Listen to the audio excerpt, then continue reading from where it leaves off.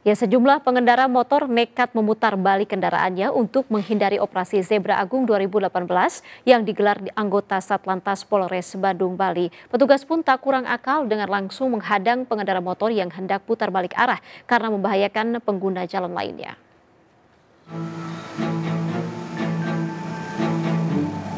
Aksi nekat berbalik arah ini dilakukan sejumlah pengendara sepeda motor hanya beberapa meter dari titik operasi Zebra Agung 2018 yang digelar anggota Satlantas Polres Bandung Bali di pintu masuk terminal Mengwi di Jalan Raya Denpasar Gilimanuk.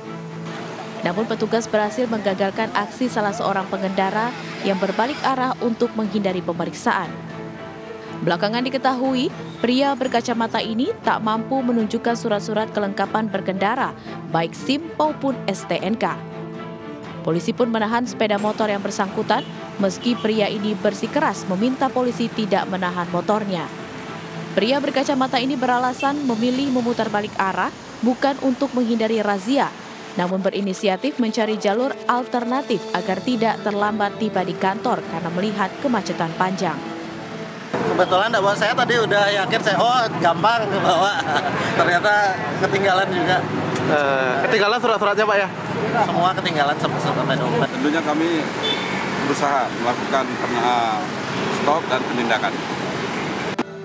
Hingga hari keempat pelaksanaan operasi Zebra Agung di wilayah Polres Badung, ratusan pengendara ditindak dengan mayoritas pelanggaran tidak membawa surat izin mengemudi atau SIM.